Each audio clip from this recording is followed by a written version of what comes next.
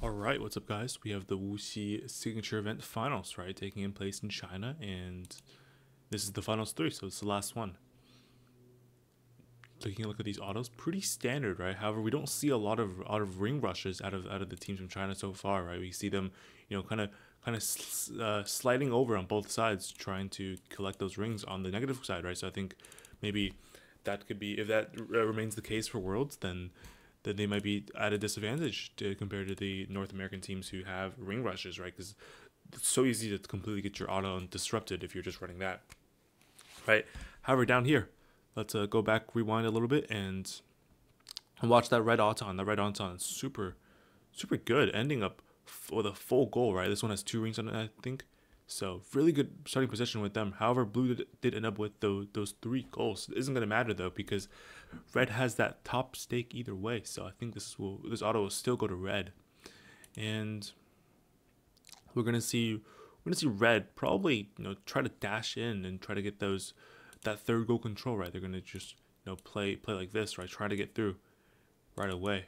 While uh, while it's blue's goal to stop them right, so they're gonna need to come here and uh, play that play that screen, right? It's a little bit too far for red team to you know go through here, right? I think if you're starting like here, then you can go through. Let's see what happens, right? That's exactly what we see with red team dashing in all the way, and they're gonna be able to take their positive corner, right? So now, now all they have to really do is just stay here, right? If they stay there, or even even this position is fine, right? Because as long as blue is faced inwards, that that goal isn't isn't scored. So, right. And while while that's happening, the other blue alliance is up there scoring scoring the top or scoring that top wall stake, right? So this is very, very good uh, strategy out of the blue blue team here. As we speak, they're being able to take that red goal away. Now, now they do a quick swap. So now both of them are going to need to play negative corner for the rest of the match now.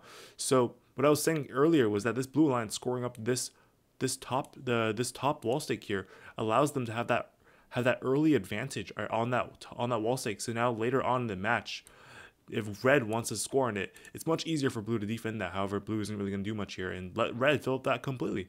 So now it's completely filled with two red rings, right? That's two red rings up there. So they need to hit a D score. Right, and D scoring is not super easy. And we're going to see, uh, I think that's blue team try to do that. Oh, they just, I think they just did both at once. Right, super impressive, although that's a minor violation for that outside the, outside the, the field. Right, Still though, we can see them play play zone defense out of those positive or out of those negative corners now. And you see them leaving their goal actually. So you know, this is a little a little unsafe, right? From leaving, I would I would hold on to. I mean, actually, arguably, here let me pause it real quick. Arguably, I feel like if you were to leave your goal, it'd be better, right? Because uh, because if you have your goal, then other the other team can just run in there with with another goal and just sit there, right? But if you if you don't have your goal, if the goal is left in here, they have to go in there without a goal, right? So I don't know. I think uh, still though, it's quite risky to come out of that corner. Either way, but in I mean this in this case, right? They were able to get it back in in time, right? If they have a good drive team and they're looking out for what they're supposed to supposed to be looking out for, then it's uh, not a big problem. And we're gonna see both both teams get a negative corner, right?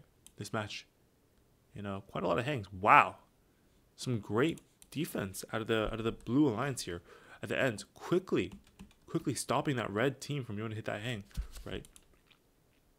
However, I still think red's gonna be taking this win here, right with auto, and the and this goal isn't fully filled.